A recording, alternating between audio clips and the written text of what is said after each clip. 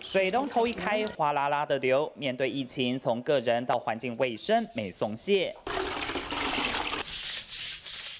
如果去摸到什么东西啊，觉得不干净就一定洗啊。平均啊，一天十几二十次吧。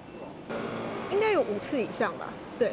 然而，眼前吃紧水情，政府努力开源。至于民众节水习惯，统计发现，国人每日用水量近五年逐年攀升。去年疫情下，相较前年更增加了五公升之多。这个用水量包括我们的生活用水，包括我们的商业用水。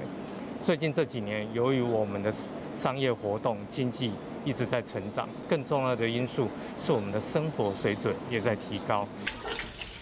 基本生活用水，每次洗手约用掉两公升，刷牙洗脸十五公升，洗澡一百二十五公升。洗水小动作，用洗菜、洗米水浇花，漱口杯刷牙，甚至改成淋浴都能发挥功效。今年现在正在公告中了，呃，是我们的这个呃小便斗，未来会在明年持续公告，是我们的按压式的水龙头跟感应式的水龙头，也都会纳入省水器材。水从天上掉下来，也要留得住，才能供应生活无虞。